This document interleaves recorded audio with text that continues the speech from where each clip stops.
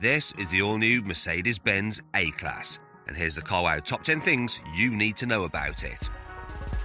The overall look hasn't changed radically from the old car, but little tweaks make it feel sharper and more modern. But how do you think it compares to its rivals?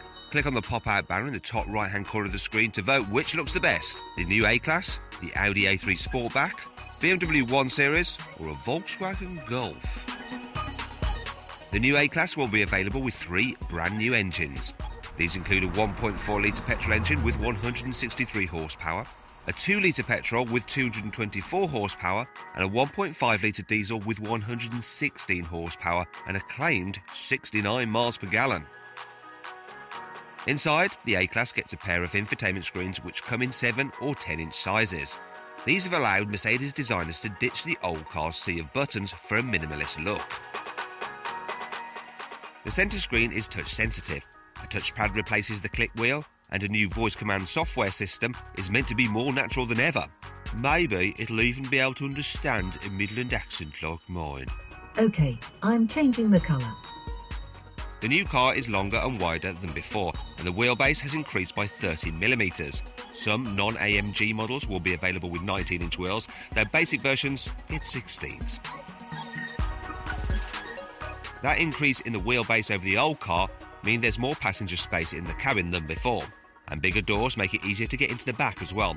Boot space is also increased by 29 litres, so there's now 370 litres of space. The new A-Class will be offered with two suspension setups.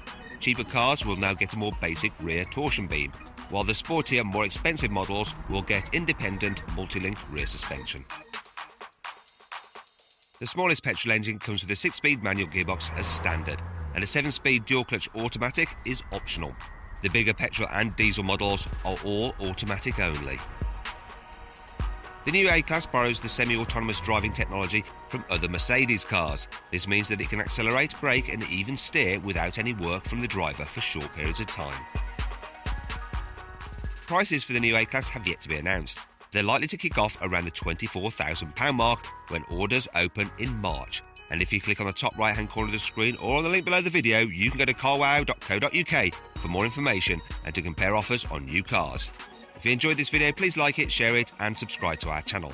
And click on the windows for more CarWow videos.